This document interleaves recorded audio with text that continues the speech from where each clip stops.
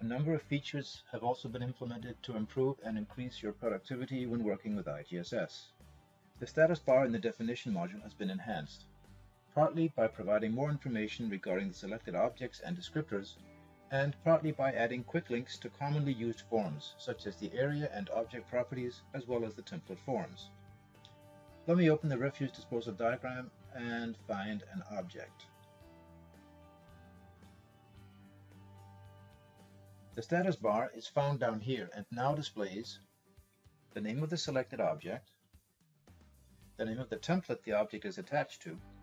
If the object is not attached to any template, this field will be empty. The current position of the mouse cursor, as well as the position and size of the selected object descriptor. The current area is displayed here, and license information is displayed here. I will talk a little bit more about what these numbers mean later. But now they're just displayed here so you can see how many objects you've used and how many are left. The status bar not only displays information, but you can also click on certain fields to open forms. For instance, you can click the template field to open the, the object template form. Clicking the name field opens the object properties form. Clicking the descriptor position field opens the position and size toolbar. You can also display or remove the position and size toolbar here from the View Position Size toolbar. And clicking the Area field opens the Area Properties form. Another new feature is the ability to reassign objects to other object templates, and even remove a template from an object by using the Property Table Viewer. As we can see, the P1 object is presently attached to the Pump 1 digital object template.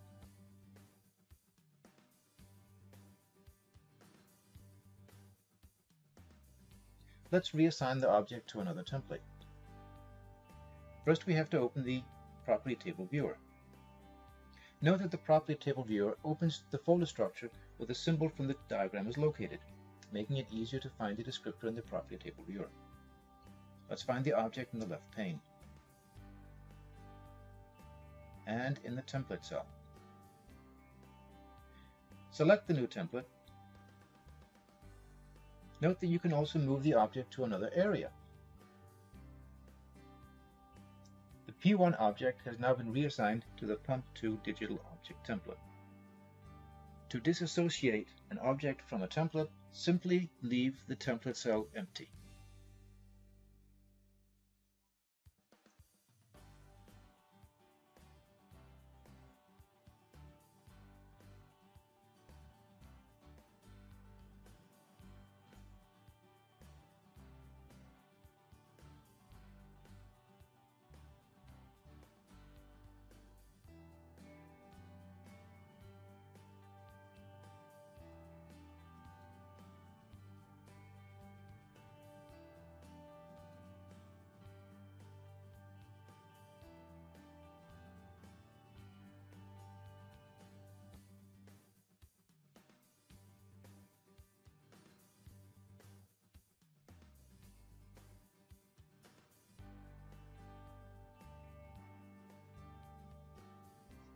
New search criteria have also been added to the object browser. Firstly, the object description has been added to the results pane. Secondly, you can now search for the object name or object description, or both, and you can select to search by case or not.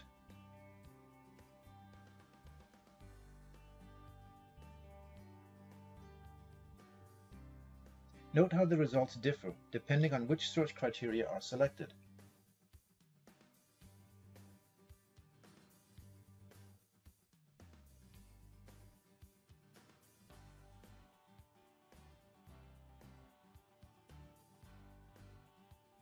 If an object is placed on multiple diagrams, you now have the option of specifying which diagram to open.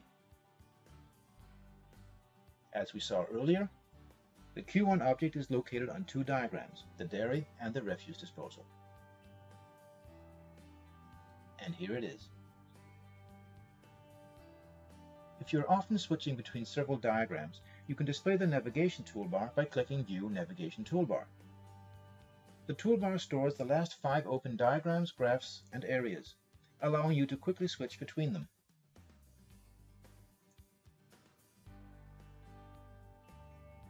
If you have stacked many descriptors on top of each other, you can cycle through them by pressing Ctrl and Shift and clicking with the left mouse button. Here, the stack of descriptors are overlapping. Now, cycle through the stack using the mouse and Ctrl Shift buttons. Note that if you click too fast, you will open the Object Properties form, but otherwise, the descriptor in focus will be the one with the light blue coloring around it. On a quick side note, three new free value atoms have been added to the analog object. These atoms are identical to the actual value atom. They must be activated, and you can set the PLC mapping for each atom. Likewise, you can define the number of decimals and unit designation for each free value atom on the Analog tab.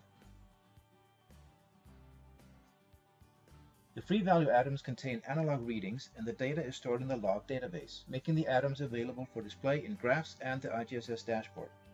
If you want free value atom data printed on a report, you'll have to use custom reports, as the standard reports use BCL data values. The free value atoms are accessible for VBA programming and ODBC-based creation and editing. Let's go back to the refuse disposal diagram to see how to gather separated state symbols.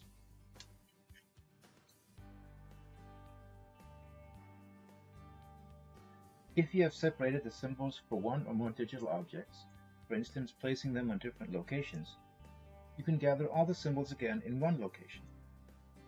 Here, the symbols for the P1 object have been separated and placed in different locations in the diagram. The symbols can be gathered by selecting the symbol in the location you want all symbols to be, right-clicking and selecting Align Gather Symbols. You can also click Format, Align, Gather Symbols for the same function. Note that you can toggle the display of separate symbols by clicking the View Show All States. This is incidentally how you separate the symbols from each other. Another productivity improvement is the option to faster create individual symbols for digital object states in templates and animated symbols. The procedure is identical, so let's look how it is done for the object templates using the Pump2 digital object template.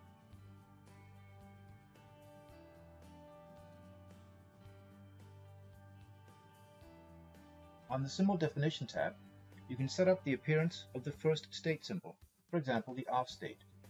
Let's give it a symbol and, and select a color. Then we'll copy the symbol and paste the symbol and all its properties into all states. You could also just have selected another state and copied the symbol properties to that state only by clicking the Paste to Select State button. Now all you have to do is to change the symbol properties you want for each state symbol.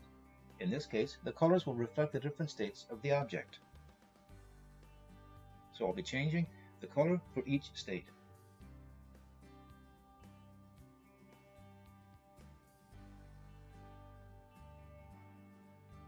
Let's create a symbol from the template and see how it looks.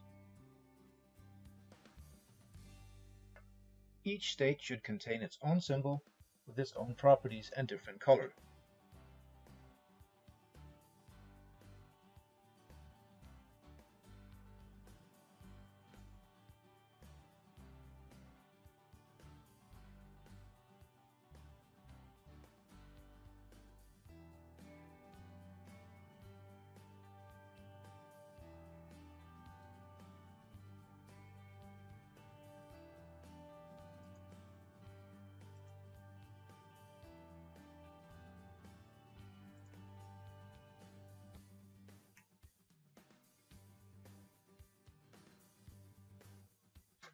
Great many new calculation functions have been added in IGSS 11. Most of them are functions that enable you to retrieve historical data from the databases in IGSS. For example, the log value function returns a single historical data value for an object from the log database as defined by the date and time. Likewise, the BCL value function retrieves a single historical BCL value for an object from the BCL database. The hour, day, and month value functions do the same, but from the HDM database, or historical reduced data. in order to retrieve historical values, you must have set up your object to store data in the databases which the functions are to traverse. Other functions have been introduced in order to better provide input parameters to the data retrieval functions, such as the time or offset time functions, among others. Also, more general functions have been created, as the atom ID function, which returns the atom ID for an object's specified atom. Also, a function which returns the data reduction method used for an atom. This is an example of a log value function where we can see that the function requires three parameters. The object name, which atom we want to retrieve log data from, and the date and time of the log data to be retrieved. In this example, log data for the Q1 object's actual value atom is to be retrieved at the date 12th March 2013 at the time 1523.55.